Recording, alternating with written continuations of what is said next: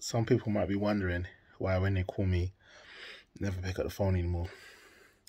It's because you chat too much, bruv. And when I say chat too much, I don't mean in literal sense like you talk a lot. I mean in the business sense where you talk a lot.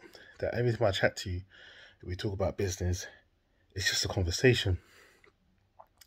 Can't do those things no more. When I talk to anyone, there's got to be conclusion. There's got to be action at the end of the conversation. If I speak to you twice and the third time you're looking to have another chat, bro, I just won't pick up the phone for you no more.